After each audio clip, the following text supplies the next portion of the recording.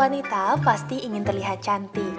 Bukan hanya semata-mata untuk menarik lawan jenisnya, namun penampilan wanita dengan wajah yang cantik pun dapat menunjang kepercayaan diri yang dibutuhkan dalam menjalani kehidupan sehari-hari.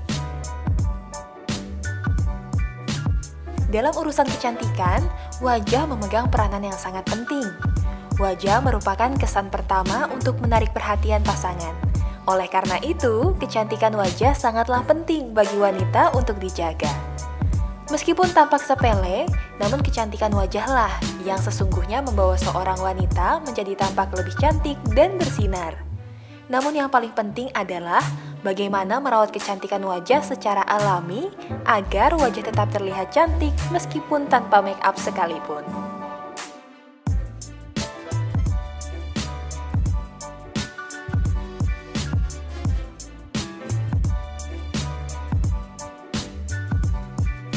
Assalamualaikum sahabat cantik. Seneng banget nih akhirnya Opi bisa menjumpai sahabat cantik semuanya di program Jelita.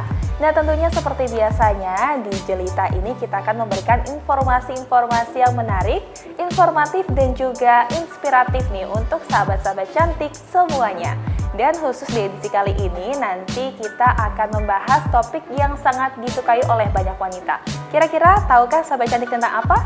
Ya betul sekali, kita akan membahas tentang topik seputar kecantikan. Nanti kita akan juga ketemu dengan salah satu ahli kecantikan di mana mempunyai kisah yang sangat inspiratif sekali. Dulu memulai klinik kecantikannya dari sebuah ruang yang ada di rumahnya, tapi kini mempunyai klinik kecantikan yang nyaman, besar dan juga cozy seperti ini. Kira-kira penasaran bagaimana kisah inspiratif selengkapnya? Saksikan terus cerita sampai akhir ya.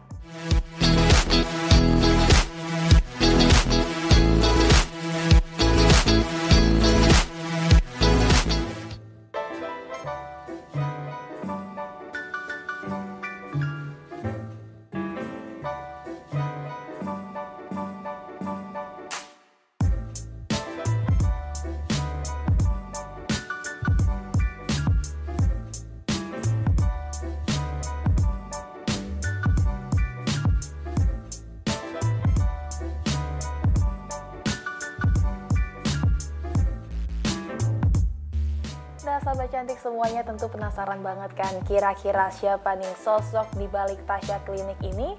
Klinik yang sangat cozy, kemudian juga nyaman dan juga bisa nih untuk kita semua jadikan tempat untuk me time. Aku aja kenalan dulu dengan pemilik kliniknya. Halo, Assalamualaikum Ibu Tasya. Salam. Gimana nih Bu Tasya kabarnya? Alhamdulillah sehat. Alhamdulillah. Nah, sahabat cantik ini adalah Ibu Tasya. Jadi Ibu Tasya pemilik Tasya Klinik gitu ya Bu ya. Iya, Klinik Pratama Tasya Health Beauty. Klinik Pratama Tasya Health Health and and Beauty. Beauty. Nah, kita akan tanya-tanya sedikit boleh Bu tentang klinik eh, Tasya Klinik ini? Eh, tadi kan Opi udah bilang nih ke sahabat cantik semuanya ini tempatnya nyaman banget, kemudian cantik banget. Ini konsepnya juga unik juga dan kita membuat nyaman gitu.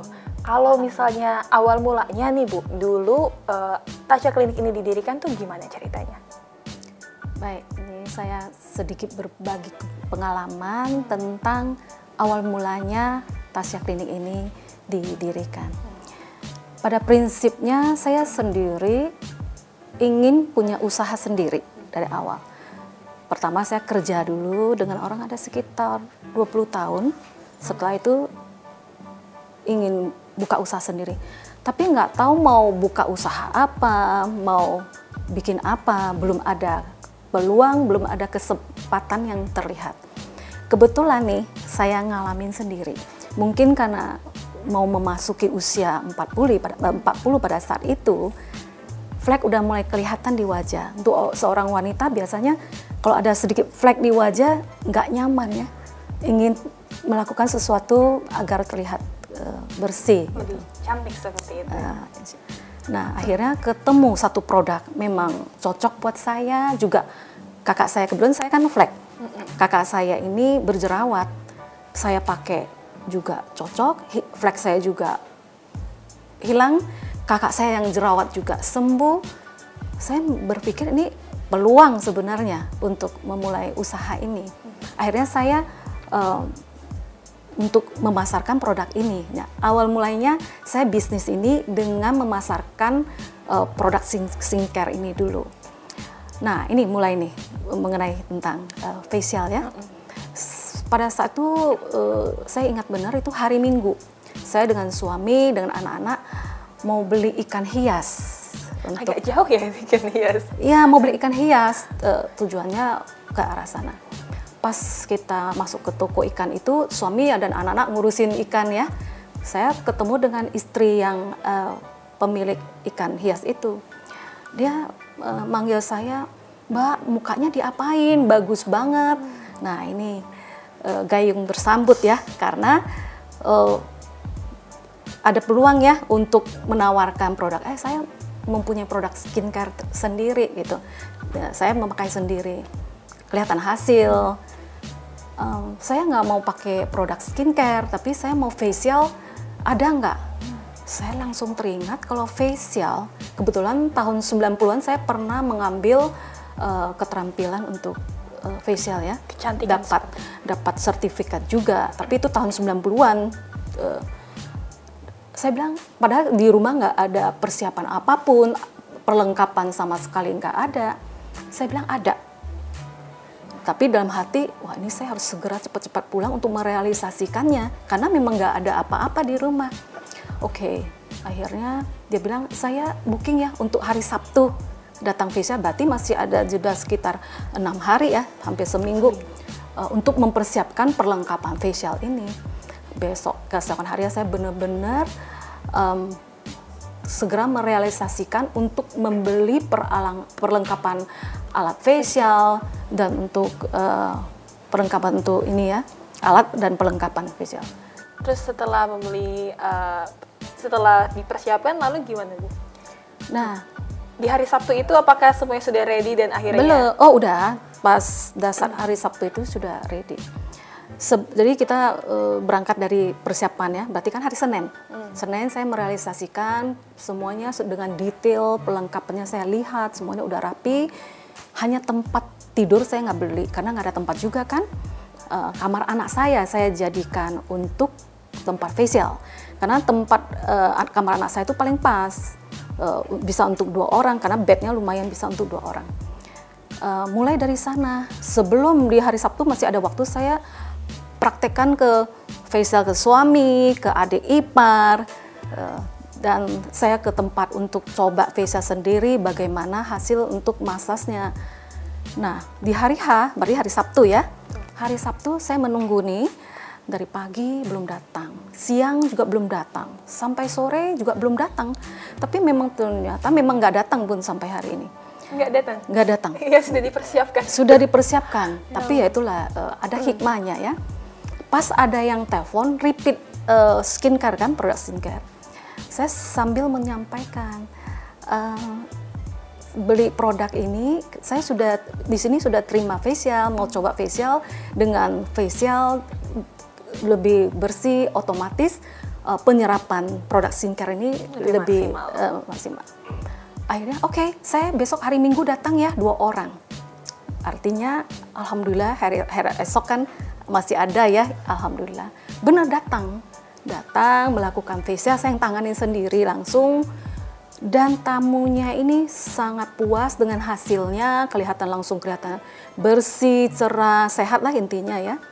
Nah, dari sana mulai dari mulut ke mulut mulai uh, berkembang sampai sekarang ini? Uh, uh, belum. Oh, belum, masih dua dua masih kamar anak ya. Hmm. Setelah itu uh, saya lihat ada garasi dari kamar anak saya pindah ke garasi. Garasi ini tuh dua meter setengah kali lima gitu ya bisa untuk empat bed satu kredensa gitu. Saya siapin dengan musik air yang uh, suara air sedikit aksesoris begitu orang yang masuk juga nyaman seperti itu. Dimulailah garasi. Dari garasi sekitar ada 6-7 tahun akhirnya saya beli rumah sebelah saya expand lah intinya ya. Expand uh, untuk uh, jadi uh, Tasya uh, klinik Pratama yang tadinya House of Tasya berlanjut ke Tasya Health and Beauty Tasya Health and Beauty terus lanjut ke klinik Pratama Tasya Health and Beauty klinik ya berjalan sampai hari ini. Apakah itu garasi ini tempat yang eh bukan garasi berarti rumah sebelah ini yang sekarang kita Nah sekarang ada? ini ya. Oh, menarik banget ya sahabat cantik. Ternyata berawal dari ketidaksengajaan. Kadang-kadang tuh ada yang uh, dari passion memang ingin membuat klinik, tapi Bu Tasya ini dari ketidaksengajaan dan itu orangnya sekarang gimana ya? Dia nggak jadi datang ya? Berarti Tapi ya itu awalnya suatu hikmah ya. Iya. Bisa Kalau kita- misalnya orang tersebut nggak bilang ingin facial, mungkin nggak terlaksana enggak, ya Bu ya sampai enggak. sekarang ini? Hmm, Karena saya selalu melihat ini peluang dan basic saya pernah mengambil uh, kursus dan itu pun tahun 90-an berarti udah lama sekali ya. Ini kebetulan dan juga kesempatan dijadikan satu makanya nih ada jalan sampai sebesar ini. Terus berarti itu awalnya di tahun eh, klinik ini di tahun se- 2003. 2003, sekarang udah 2012. Jadi uh, 2020. sebentar lagi dua, 20 tahun. sebentar lagi 20 tahun sudah hampir 20 du- 20 tahun nih Tasya Klinik ada. Berarti kan selama perjalanan itu tentunya banyak sekali tantangannya ya Bu ya.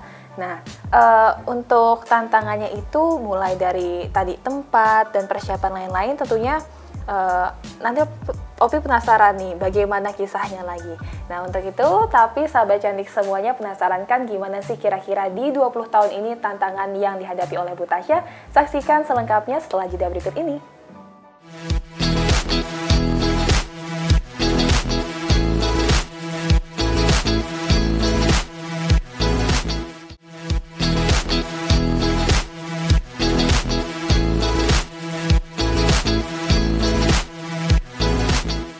Nah, sahabat cantik semuanya masih bersama Opi nih di Jelita, Jendela Inspirasi Wanita. Tadi kita sudah tanya-tanya ke Bu Tasya dan terakhir bahasan kita tuh di tantangan nih, tantangan mendirikan klinik Tas- Tasya Klinik ini sendiri tuh bagaimana, Bu? Kalau untuk tantangan memang kita belum ada pelanggan, belum ada nama, juga belum banyak pengalaman. Ada tapi belum eh, banyak dan belum ada produk skincare sendiri pada saat itu. Oke, tentunya uh, membuat uh, kepercayaan ya, kepercayaan dari pelanggan untuk uh, Belum ada malahan kan pada saat awal mula untuk mulai belum ada pelanggan, belum ada nama. Nah, tapi kalau misalnya sekarang ya Bu, di 2022 apalagi nih di daerah Jakarta Utara nih kalau teman-teman sahabat cantik ingin tahu nih di daerah Jakarta Utara kliniknya. Kan sudah ada banyak sekali klinik-klinik kecantikan. Kira-kira yang membedakan Tasya Klinik dengan klinik-klinik kecantikan yang lainnya tuh apa? Untuk Tasya Klinik sendiri ini sudah hampir 20 tahun dan kita juga mempunyai produk skincare sendiri dengan dokter eh, kompetensi yang tinggi dengan keramahan dan kemahiran terapis mempunyai laser-laser teknologi yang tinggi dan kita selalu inovasi dan upgrade tren eh, terkini.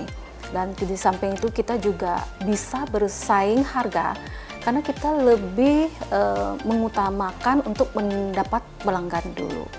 Sehingga kita insya Allah ya bisa bersaing dan kita juga mempunyai banyak treatment eh, dari botox, filler, tanam benang dan treatment-treatment yang sekarang lagi ngetren pun kita berusaha eh, mengikuti perkembangan dan juga perkembangan di sosial media sosial media kita juga memulai untuk mengikuti walaupun memang mungkin anak muda lebih pintar ya tapi kita berusaha untuk mengikuti perkembangan yang ada. Oke, jadi berarti berawal tadi uh, dari hanya facial saja, kemudian sampai sekarang tadi treatment-treatment lainnya ya Bu ya, banyak dan tadi nilai plusnya adalah dengan harga yang bersahabat bisa mendapatkan pelayanan yang tentunya maksimal ya Bu untuk para uh, pelanggan dari Tasya Klinik ini. Uh, lalu Bu, di perjalanan 20 tahun ini juga tips-tips lainnya nih yang membuat uh, bisa berkembang dari dulu yang katanya kan hanya ruangan kecil, ruangan anaknya kemudian ke garasi dan uh, mempunyai klinik yang secantik, sekozi, senyaman ini tuh. Tips-tips lainnya apa lagi? Kita selalu fokus, fokus apa yang kita eh, jalanin termasuk klinik kecantikan ini ya. Eh, selalu harus belajar dan belajar terus untuk mengikuti perkembangan. Umpama di luar sana ada perkembangan apa, kita selalu harus mengikuti sehingga bisa bersaing. Terutama ya sekarang yang tadinya kita hanya eh, Tasya Hal Beauty, sekarang kita masuk ke klinik Pratama sehingga lebih bisa membuat pelanggan yakin dan percaya uh, dan lebih melihat hasil yang ada tentunya. Selalu nomor satu adalah hasil. Semuanya ini dibuktikan dengan hasil yang tentunya cantik gitu yang tentunya memuaskan bagi para pelanggan dan juga uh, salah satu kuncinya juga dari uh, omongannya Bu ya misalnya ada yang merasakan oh di sini puas kemudian membagikan lagi ke yang lain seperti Betul, itu ya. mulut lewat mulut itu memang uh, sangat membantu dan hasil ya selalu hasil. Di samping yang tadi harus berekspansi ke sosial media dan juga cara-cara yang lainnya. Nah Bu Tasya kalau uh, bisa berbagi tips nih untuk para sahabat cantik yang uh, suka dengan dunia kecantikan dan ingin juga memulai usaha juga nih seperti Bu Tasya yang sudah berpengalaman lama sekali 20 tahun ini. Nah, kira-kira apa tips-tips uh, yang bisa dibagikan ke yang uh, suka di dunia kecantikan ini? Bagi yang mau memulai ataupun ingin merawat diri itu memang uh, beda ya. Kalau yang ingin berbisnis di klinik kecantikan ini tentu mereka harus jeli, jeli melihat peluang. Begitu ada peluang uh, segera lakukan tindakan. Jangan menunggu harus uh, hobi baru melakukan setua, uh, sesuatu uh, usaha. Namun begitu ada peluang, jangan ditunda. Lakukan uh, selalu melihat uh, peluang ini langsung diambil, mulai dengan banyak seminar, melakukan uh, ikut kursus keterampilan, estetika medik, kosmetologi, dan jangan lupa untuk selalu berdoa, fokus, tekun, ulet, tanggung jawab, selalu semangat, insya Allah akan membuahkan hasil. Insya Allah membuahkan hasil. Nah inilah tips-tips panjang dan juga sangat bermanfaat sekali untuk sahabat cantik yang ingin mencoba nih memulai apabila mempunyai ketertarikan di dunia kecantikan. Nah sahabat cantik semua yang ada di rumah nanti kita akan tanya-tanya nih seputar tips kecantikan dari Bu Tasya, dari ahlinya. Boleh ya Bu Tasya? Ya. Tapi kita akan membahasnya usai jeda yang berikut ini.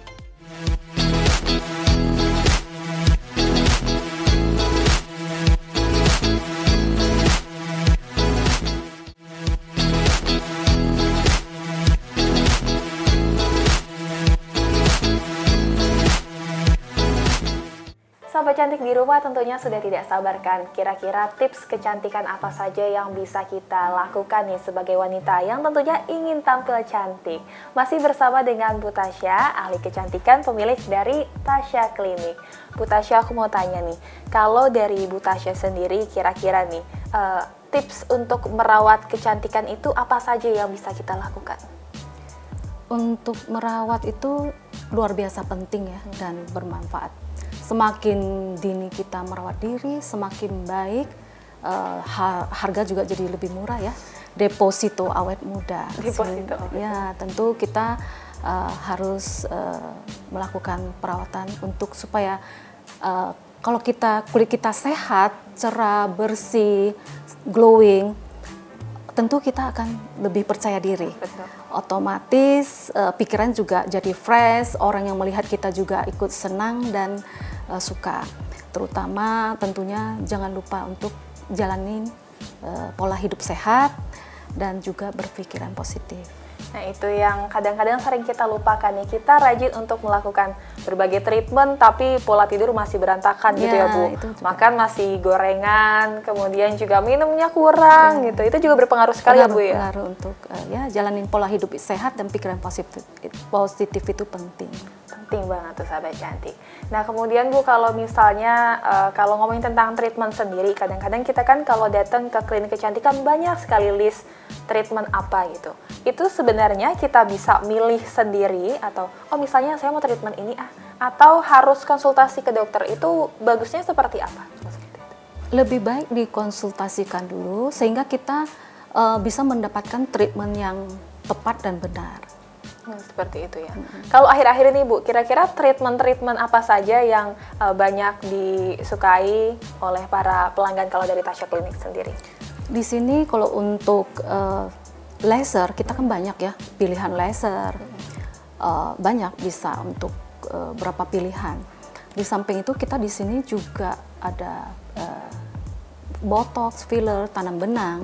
Nah, tanam benang sendiri itu pun juga uh, banyak bisa dari mulai dari dahi, mata, uh, puppy eyes, untuk pipi, hidung, bibir, uh, double chin, untuk payudara dan perut buncit, uh, lingkar lengan yang besar atau bergelambir itu semua bisa dilakukan sekarang tanpa operasi. Tanpa operasi, berarti tidak dan aman ya, aman dan semua uh, berbepom untuk uh, benang itu sendiri.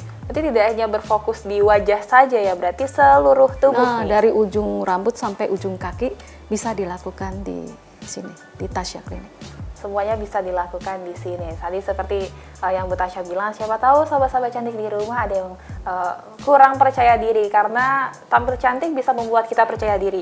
Bukan untuk orang lain dilihat cantik, tapi untuk kepuasan diri ya Bu ya. Seperti itu, tampil timbul percaya diri ya otomatis. Nah, kalau misalnya uh, frekuensi dari treatment gitu Bu, kira-kira seberapa penting dan biasanya kalau ngelakuin tindakan misalnya uh, facial itu kira-kira bagusnya apakah kita harus rutin setiap bulan atau kalau ada keluhan-keluhan aja atau seperti apa? Kalau untuk rutin boleh aja e, sebulan sekali boleh nggak masalah boleh. Boleh ya. Berarti kalau misalnya mau datang juga, jadi sebenarnya jadi waktu untuk me time juga ya Bu Tasya ya? ya? harus memanjakan diri ya. Betul, memanjakan diri biar tampil cantik juga. Nah Bu, kalau misalnya treatment-treatment seperti yang bisa kita lakukan untuk mendukung kecantikan kita nih, tentunya kan uh, selain di klinik juga kita bisa melakukannya di rumah nih sendiri. Kira-kira uh, tips-tips untuk merawat kecantikan di rumah yang bisa sahabat cantik lakukan, kira-kira apa saja?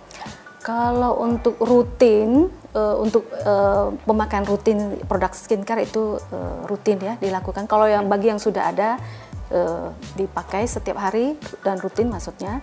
Bagi yang belum ada pun boleh memulai beli yang sederhana dulu.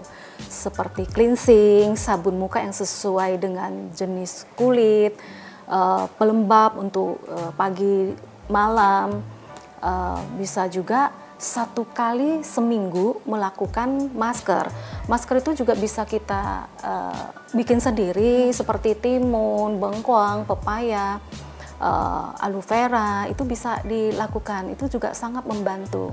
Dari bahan-bahan yang memang benar-benar alami itu berarti nggak apa-apa yeah. bu? Kita potong-potong timun, taruh di muka itu nggak apa-apa? Boleh, itu simple lah itu ya. Kalau mau beli di uh, luar sana juga banyak kan sekarang ya jual yang Eh, saset-saset uh, untuk maskernya itu juga sudah banyak sekali. Yang alami gitu juga tentunya yeah. lebih bagus mm -hmm. untuk digunakan. Nah terus kalau misalnya uh, kalau menurut Bu Tasya sendiri nih, kalau misalnya kita hanya uh, treatment biasa gitu tanpa ada tambahan kayak didukung seperti yang tadi Ibu bilang pola hidup sehat itu ngaruhnya seperti apa perbedaannya jika nggak dibantu dari dalam juga? Kelihatan dari aura wajah kita ya, kulit kita juga nggak terlihat uh, glowing, nggak kelihatan cerah, nggak kelihatan sehat. Memang kalau untuk melakukan uh, treatment itu lebih baik dilakukan di klinik karena dengan sentuhan dan uh, tahapan yang lebih tepat dan benar. Dengan terapis tentunya ber, lebih berpengalaman ya, ya tahu dengan step-step dan urutan-urutannya. Betul, betul. Oke, seperti itu. Tentunya banyak sekali ya sahabat cantik eh, tips-tips uh, yang diberikan oleh Bu Tasya. Salah satunya adalah tadi, selain menjaga kecantikan dari luar, kita juga harus menjaga kecantikan dari dalam tubuh.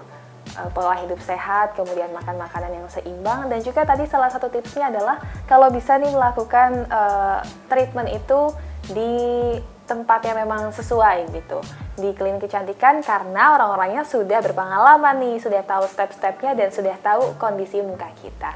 Nah gimana, menarik banget kan bahasan kita di edisi Jelita kali ini. Nah nanti kita akan lihat lagi ada apa di Tasya Klinik ini.